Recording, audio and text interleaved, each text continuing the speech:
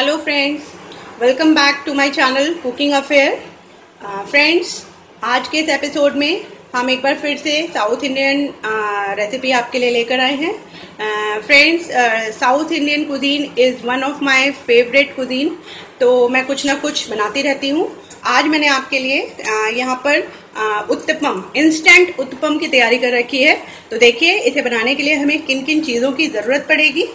ये देखिए, ये है सूजी। ये लगभग आधा किलो सूजी है। दही, काढ़ा दही है। लगभग एक कटोरी। या आप मेज़रमेंट के चाहते हैं तो लगभग 100 ग्राम दही। Oil for frying just for greasing हमारा जो उत्पम है उसे ग्रीस करने के लिए uh, थोड़ा सा ऑयल जगेगा। ज़रूरत के अनुसार पानी। यह है इनो फ्रूट सॉल्ट लगभग एक पाउच इंस्टेंट है इसलिए इनो की ज़रूरत पड़ेगी।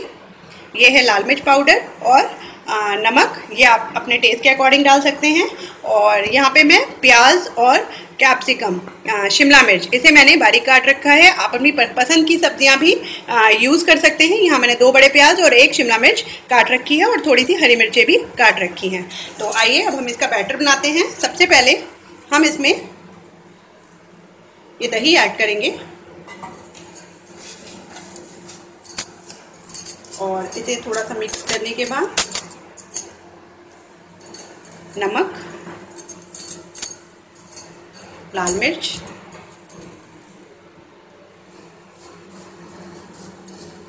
इन सबको रफली आप एक बार अच्छे से मिक्स कर लें। ये बहुत ही जल्दी तैयार हो जाते हैं फ्रेंड्स आप बच्चों के टिफ़िन में भी दे सकते हैं। रात में तैयारी करके रख दें और सुबह फटाफट बना दें। और खाने में बहुत टेस्टी हैं। ब्रेकफास्ट में बनाइए डिनर में बनाइए काफ़ी हल्के होते हैं। और थोड़ा थोड़ा करके पानी ऐड करेंगे।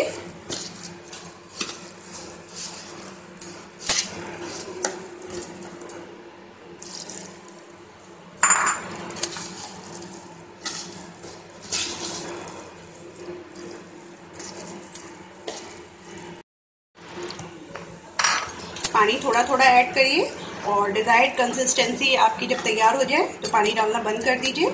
और क्योंकि ये सूजी है तो थोड़ा सा फूलेगी भी, थोड़ा राइस करेगा ये।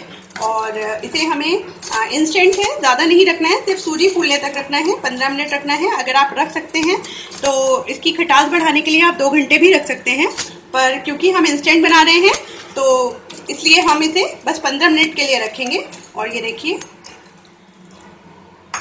ये बिल्कुल कंसिस्टेंसी इसकी। अब ठीक है, ये देखिए। इसकी पोरिंग कंसिस्टेंसी ये चम्मच देखिए। इस तरह से आपको इसकी कंसिस्टेंसी चाहिए और इसे मिक्स करने के बाद इसे अब हम 15 मिनट के लिए रेस्ट करने देंगे, इसे ढक के रख देंगे और उसके बाद इसके उत्पम तैयार करेंगे। ये देखिए दोस्तों, ये फूल चुकी है सूजी बिल्कुल। और इसकी, इस समय देखिए पोरिंग कंसिस्टेंसी है, यही चाहिए हमें। तो अब हम इसमें, ये थोड़ा सा जो हमारा एक पाउच इनो है, ये हम ऐड करेंगे और इसे मिक्स कर देंगे।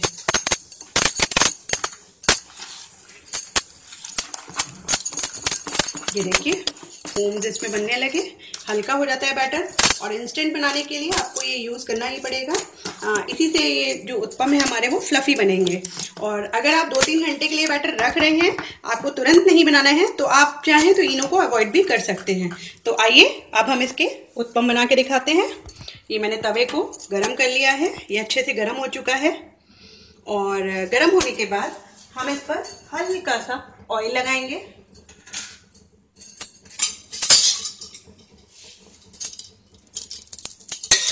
और थोड़ा सा तवा हमारा चिकना हो जाए।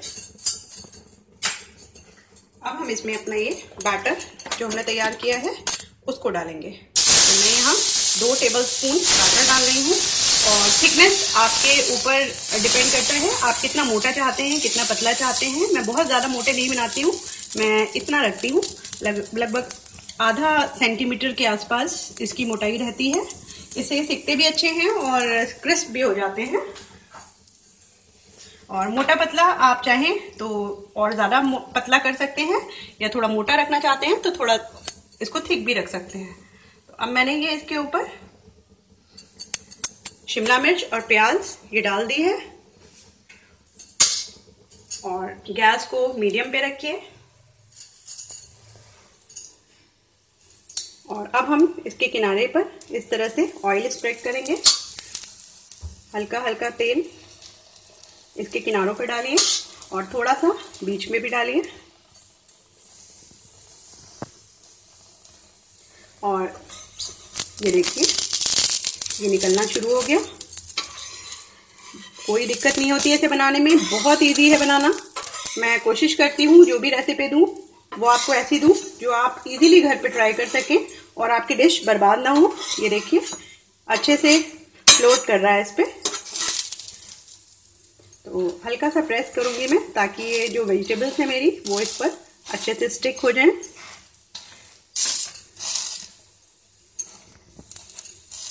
चेक करते हैं।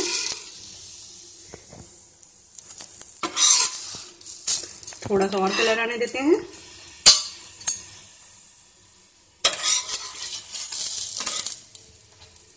और अब हम इसे फ्लिप करेंगे।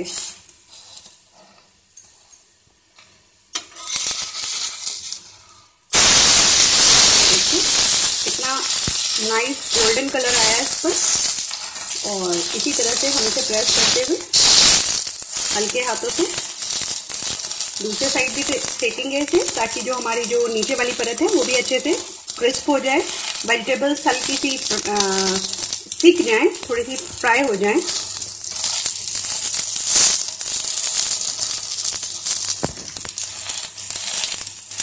और इसमें आप वेरिएशन भी कर सकते हैं। आप सब्जियों में, जैसा मैंने आपसे कहा, मैंने यहाँ प्याज और शिमला मिर्च डाला है। आप चाहें तो पनीर डाल सकते हैं ग्रेट करके। आप चाहें तो इसमें गाजर ग्रेट करके डाल सकते हैं। और जो आपकी फेवरेट वेजिटेबल हो, बच्चों को जो पसंद हो, आप वो इसमें ऐड करिए। ये देखिए। मैंने वीडियो को बिल्कुल स्टॉप नहीं किया है सेकते टाइम और आप देख रहे होंगे। इसे बनने में दो से ढाई, दो से तीन मिनट ही लगे होंगे। और एक उत्पम हमारा तैयार हो चुका है। मैं आपको और पास से दिखाती हूँ। आप कलर देखिए ये पूरी तरह से सीख चुका है। तो आइए, अब हम इसे उतार लेते हैं और इसे सर्व करते हैं। फ्रेंड्स गर्मा गर्म उत्पम बन के बिल्कुल तैयार हैं। इंस्टेंट जैसा इसका नाम है। और मैं आपको एक बार इसका टेक्सचर भी दिखाऊँगी। ये देखिए, बहुत सॉफ्ट हैं, बहुत डेलिकेट हैं। और खाने में भी बहुत टेस्टी है। ये देखिए, स्पंजी काफ़ी अच्छे बनते हैं। टेस्ट वाइज भी बहुत अच्छे होते हैं। आप ट्राई करके देखिए और पसंद ज़रूर आएगा। बच्चों को ज़रूर पसंद आएगा। बच्चों के टिफ़िन के लिए आप रात में प्रिपरेशन करके रख सकते हैं और सुबह बना के दे सकते हैं। तो इसे मैंने यहाँ पे ये कोकोनट चटनी के साथ सर्व किया है। आप चाहें तो सांभर के साथ कोकोनट चटनी या टमाटो अनियन चटनी, ये सारी लिंक मैं आपको डिस्क्रिप्शन बॉक्स में दे रही हूँ। आप चेक कर सकते हैं और बना सकते हैं। तो बनाइए अनियन एंड कैप्सिकम उत्तपम, जो इंस्टेंट है तो ट्राई करिए और बताइए मुझे आपको कैसा लगा। तो दोस्तों, अगर मेरा वीडियो आपको पसंद आ रहा हो और इससे आपको कोई हेल्प मिल रही हो तो प्लीज़ मेरे चैनल को लाइक और सब्सक्राइब करें और इसी तरह आगे भी वीडियो की आपको अपडेट मिलती रहे तो उसके लिए आप बेल आइकन पर क्लिक करें। तो thank you for watching and we will meet again very soon